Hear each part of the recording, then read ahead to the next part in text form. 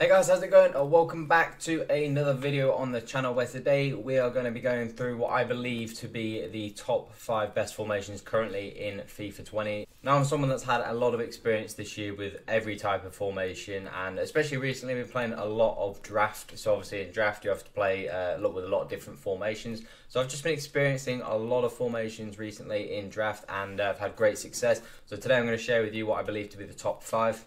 Starting off at number five, we've got the 4-3-3-5, interestingly, and uh, this is a formation I had a, lot of good success with. I find it to be a really cool formation. It's just really, it's, it's, hard to explain. It's one of those things you've got to play with to understand, but it's really intricate, really good if you want to play sort of tiki-taka, quick passing. These are the tactics that I did eventually settle on. You'll see a pretty much a very similar set of tactics on all five of these formations. I'm someone that doesn't really change my formations too much, uh, my tactics too much when it comes to formations, but that's what I went for. Instruction wise, as well, in every formation you're going to see here today, the back four is going to have stay back while attacking. Uh, for me, it's the only way I like to play when it comes to back four. I like to have my uh, my defenders always staying back, having a solid foundation, and going from there. Petit, uh, the, the, CDM I've got on man mark, stay back while attacking cover and pretty self-explanatory when it comes to uh, to the CDM. The two midfielders, Neymar and Del Piero, have got balanced attack, get into the box for crosses. Because we've already got quite a few players back um, defending wise. Obviously, we've got the uh, the fullbacks, uh, the centre backs, and the CDM. We're going to be a little bit more aggressive when it going forward. So going to uh, get into the box cross is the way to go. Crespo got on stay central and false nine, of course, is a centre forward. So I like to go with that false nine, meaning that my two wingers can be on cut inside and almost play like narrow strikers beyond Crespo. And this is an exceptional setup and it works extremely well. I really do like this formation, so that is number five. Now in at number four, I've gone for the 4-4-1-1. You see currently in this uh, in this draft we are in, we're in the final, uh, which is really really cool with this 4-4-1-1 formation. Now obviously this is a good thing about obviously drafting. They've got lots of different players, lots of different formations, and I've, I've really warmed to this formation recently. Um, I find it to be a very great formation.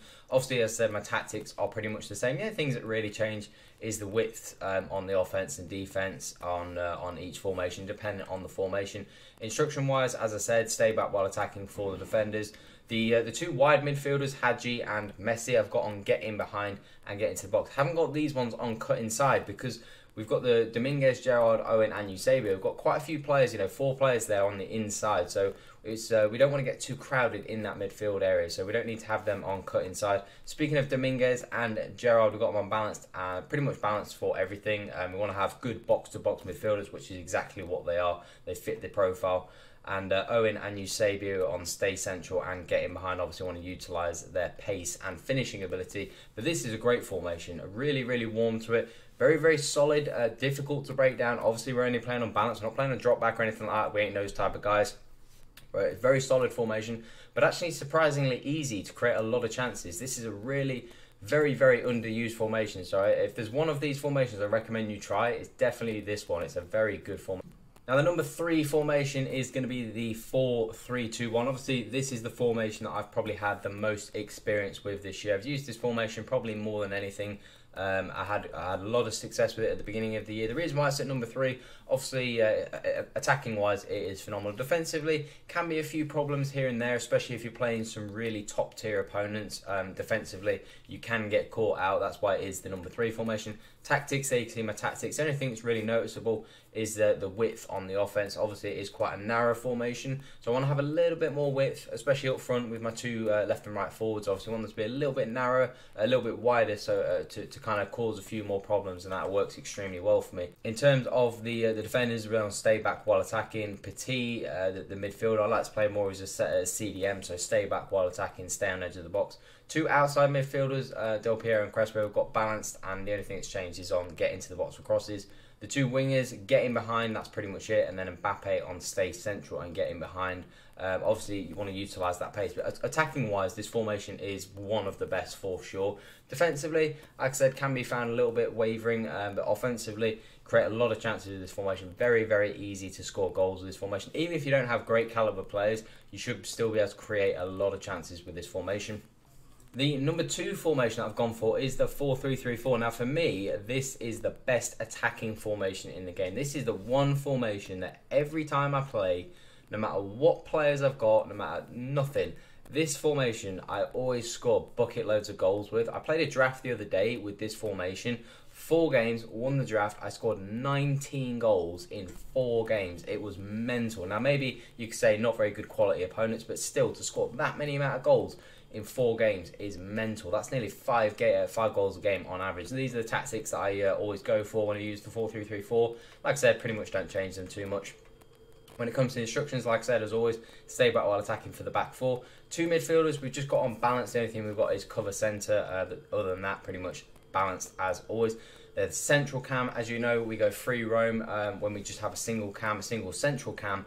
It works extremely well. The amount of op- the amount of chances, the link up, the, the space this guy creates is just a top top instruction. It, I've this is probably the most critical and uh, and useful instruction that I've found all year. It just creates so many opportunities, and this is one of the things that really changed the game for me uh, when attacking. Crespo, stay central, getting behind, two wide players, cut inside, get in behind, and get into the box. But this is a formation that if you can't create chances and score goals with this formation, there's something wrong with the way you play because you should be able to create bucket loads of chances. And surprisingly, even though it is quite an attacking formation, I've never really found it to be like terrible defensively. You know, compared to the 4-2-3-1, I for some reason do find that one um, not the best defensively. But this is not terrible defensively. I really don't seem to concede a lot of goals whenever I use this formation, but I always score a bucket load of goals. So this is great. If you want to have fun games of FIFA, this is your formation to go with. And then in at number one, it is going to be the 4 2 3 1. Now, maybe a little bit boring. Uh, obviously, it is probably the most used formation this year. Uh, you know, it's one of the reasons why I went went away from playing champs and why I play a lot of uh, a lot of draft at the moment is because you don't ever use the same formation. You know, everybody's always got a different formation, lots of different players, different, uh, you know, bigger player pool. So it's just more fun to play. I think a game mode like draft compared to champs because most people play with this. But it is an exceptional formation. It has everything you need to be successful. You're able to score lots of goals. It's very difficult to break down. Very easy to play tiki-taka if you want to play that way.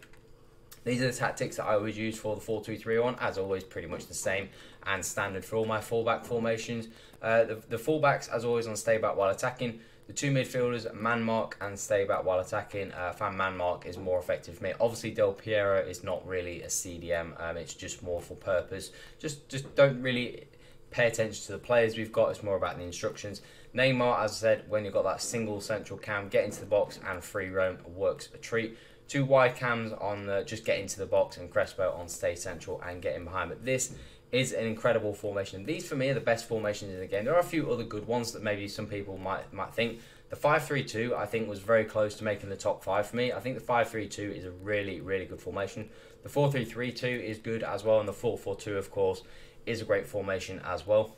Now, obviously, formations dictate obviously are dictated by how good you are as a player, and that's for me why I like playing draft because it forces Draft is a real good test of your skill because you always use different players, you're always using different formations, so it really tests your, uh, you know, skill to be able to adapt to the formation and not just have something you're very comfortable with and use it time and time again. The fact that I'm able to, to change into all these different formations and still have really good success is something that I found really fun in FIFA and, and why I love playing draft at the moment. But these are the top five formations that I've come up with. So if you do want to check them out and you do want to try them out, let me know in the comment section how they went for you. If you want to see any more vids, make sure you drop a thumbs up, hit that subscribe button as well if you are new to the channel. And that's all today guys.